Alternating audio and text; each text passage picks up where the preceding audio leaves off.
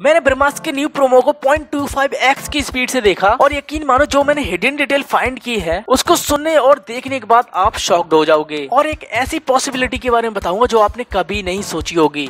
तो let's begin number one जुनून के पास जो लॉकेट्स हैं, जब आप उसको गौर से देखोगे तो वो छोटे छोटे पत्थर के टुकड़े हैं, जो की इस वाले स्टेच्यू के हैं। हो सकता है इनमें कोई प्रकार की एनर्जी है जुनून अपनी आर्मी को दे रही है ताकि वो इसका यूज़ कर पाए। वरना उसकी आर्मियों के तो लग जाएँगे अच्छे खासे। नंबर टू यहाँ कोई तो है जो की अस्त्र के टुकड़े को एनालाइज कर रहा है। और जिसने भी इस अस्त्र को पकड़ा हुआ है, वो एक साइंटिस्ट है। और जो बैकग्राउंड में बुक देख रहे हो, वो एसआरके के लैब में भी है। तो यहाँ पर सीधा सीधा अंदाज़ा लगाया जा सकता है कि इस अस्त्र को एनालाइज करने वाले शाहरुख खान है। As a scientist number three तो यहाँ पर किसी को ब्रह्मास्त्र के दो टुकड़े मिल चुके हैं और उसने इसको जोड़ भी लिया है। तो ये और कोई नहीं, बल्कि जुनून है। क्योंकि इसने जो ब्रेसलेट पहना हुआ है, ये सेम ब्रेसलेट हमने जुनून के हाथ में देखा है। तो हाँ यहाँ पर ये बात कन्फर्म है, ये जुनून ही है। नंबर फोर अब आता है यहाँ पर गुरु वाला सी यहाँ पर गुरु बता रहे हैं की ब्रह्मास्त्र के अगर तीनों टुकड़े आपस में मिल गए तो तबाही आ जाएगी। तो वहीं पे अगर आप नीचे देखोगे तो यहाँ पर कुछ रेड रेड टाइप का आपको कुछ दिखेगा। अब यहाँ पे हो सकता है कि गुरुजी के कोई बजा के चला गया है, या फिर हो सकता है गुरुजी के सामने कोई इविल कैरेक्टर है। क्योंकि हमने जितने भी इविल कैरेक्टर देखे हैं, उसमें रेड कलर की लाइट ग्लो होती है। तो हाँ यहाँ पर दो पॉइंट ही है। या फिर गुरु की किसी ने मान लिया, या फिर किसी इविल कैरेक्टर के गिरफ्त में है। नंबर फाइव जब जुनून की आर्मी इन लोगों को ट्रेनिंग दे रही होती है तो यहाँ पर शिवा गुरु जी पवन अस्त्र यूज़ करने वाला एक बंदा और नाग धनुष यूज़ करने वाला एक बंदा दिखता है, जो की यहाँ कुछ ना कुछ तो करने आए हैं। लेकिन एक मिनट एक मिनट भाई, जब आप यहाँ पर गौर से देखोगे, यहाँ पर जुनून की आदमी गन्स का यूज़ कर रही है। लेकिन गन्स का यूज़ क्यों कर रही है? चलिए बताता हूँ। तो ट्रेलर की स्टार्टिंग में आपने देखा होगा, जुनून को ये वाले लॉकेट दे दी है। एंड इन लॉकेट से ये लोगों को पावर मिलती है। तो इस वाले सीन में ये लोग गन का यूज़ इसलिए कर रहे हैं, क्योंकि इनकी कोई इंटरनली पावर नहीं है। इनको जब लॉकेट दिए जाएँगे, तभी इनके पास पावर आएगी। तो हाँ ये भी अपने आका के लिए लड़ रहे हैं, ताकि इन्हें भी समाज में कोई इज़्ज़त मिले। नंबर सिक्स आपने भी ये वाली बात नोटिस की होगी। जिस किसी के पास भी कोई स्पेशल अस्त्र होता है तो वो इस ब्रह्मास्त्र के टुकड़े को छूता है। तो ये थोड़ा ग्लो करने लगता है। ये वाली चीज़ हमने तब भी देखी थी, जब Shahrukh Khan as a scientist इसको एनालाइज कर रहे होते हैं। तो हाँ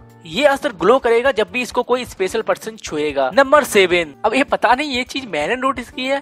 या फिर आप भी वही चीज़ नोटिस कर रहे हो? ईशा ने अपने राइट हैंड में कोई स्पेशल टाइप का कड़ा पहना हुआ है। अब ऐसा मोस्ट प्रोबेबली हो सकता है। आलिया को इस मूवी में कोई लव स्टोरी के एंगल से नहीं डाला गया है। हो सकता है इसका भी कोई इम्पोर्टेंट रोल हो। ये चीज़ मैं इसलिए कह रहा हूँ जब मैंने जल अस्त्र यूज़ करने वाली इस लड़की को देखा तो इसके भी राइट हैंड में कुछ ग्लो कर रहा है। मैं पूरी तरीके श्योर तो नहीं हूँ लेकिन हो सकता है जल अस्त्र यूज़ करने वाली ईशा ही हो। नंबर एट इस वाले सीन को जब आप ध्यान से देखोगे तो राइट साइड में यहाँ दो तस्वीरें रखी हुई है और उनपे हार भी चढ़े हुए हैं। अब ब्रह्मास्त्र पार्ट वन में दो लोग तो श्योर मारे जाने वाले हैं, क्योंकि फ़ैन थ्योरीज के मुताबिक होने वाले हैं शाहरुख खान, जो बानर अस्त्र का यूज़ कर रहे हैं एंड इसी बानर अस्त्र को हम लोग किसी और को यूज़ करते हुए देख सकते हैं, जिसका और रेड हो चुका है। एंड दूसरा कैरेक्टर है नागा अर्जुन का, जो की नंदी अस्त्र का यूज़ कर रहे थे। एंड हम लोग ये भी देख चुके हैं की नंदी अस्त्र भी और को यूज़ कर रहा है, जिसका और भी रेड हो चुका है। एंड ऐसा हो सकता है यही लोग मारे जाए। एंड मुझे काफ़ी हद तक ये फ़ैन थ्योरी सही लग रही है। अगर मैं अपना ओपिनियन बताऊँ, शाहरुख खान के कैरेक्टर एंड नागार्जुन के कैरेक्टर को ये लोग इतनी जल्दी नहीं मारेंगे, क्योंकि इनका रोल बहुत इंपॉर्टेंट होने वाला है। एंड इस मूवी की सबसे ज़्यादा हाइप इसी वजह से है। एंड मुझे कमेंट करके बताओ कि ये लोग मारे जाएँगे या फिर पार्ट टू में भी दिखेंगे। अब देखो, ये तो थे कुछ इंपॉर्टेंट पॉइंट जो की आपको जानने बहुत ज़रूरी थे। अब इसके आगे मैं ब्रह्मास्त्र मूवी के डीप डिटेल में बात करूँगा, जिसमें मैं आपको बताऊँगा की इस मूवी का मेन विलन कौन है और और कौन से कैरेक्टर इस मूवी में हो सकते हैं। तो हाँ अगर आपको जानना है मूवी की डीप डिटेल के बारे में तो आप ये वीडियो कंटिन्यू कर सकते हैं और अगर आपको नहीं जानना है तो यहीं पर छोड़ सकते हो। तो स्पॉइलर वार्निंग देते हुए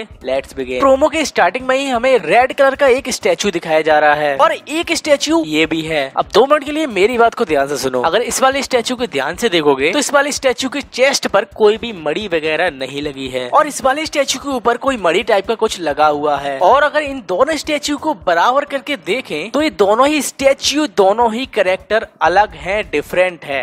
एक है निगेटिव एक है पॉजिटिव यानी एक है अच्छाई के साथ, एक है बुराई के साथ. एक है शाहरुख खान, एक है समझ रहे हो ना? तो हाँ ये निगेटिव कैरेक्टर रणवीर सिंह है. तो वीडियो लोग ये संकेत है कि आर्यन हम लोगों से सीधा सीधा बोल रहे तुम्हें थिएटर में सीटियाँ मारने पर मजबूर ना कर दिया? तो मेरा नाम भी आर्यन नहीं. और सीरियसली गाइस यही देखना चाहता हूँ मैं। तो हाँ हमें मूवी में शाहरुख खान एंड रणवीर सिंह का नेक्स्ट लेवल का परफॉर्मेंस दिखने वाला है। तो मुझे कमेंट करके बताओ। आपको क्या लगता है इसमें रणवीर सिंह मेन विलन है या या फिर शाहरुख खान? और हाँ आपने ब्रह्मास्त्र मूवी की टिकट बुक की है या फिर नहीं? वैसे मैंने तो कर ली। ऐसी ही मूवीज़ की मिस्टेक्स एंड डिटेल्स देखने के लिए चैनल को सब्सक्राइब कर देना वीडियो को लाइक शेयर कर देना। मिलते हैं किसी नेक्स्ट वीडियो में।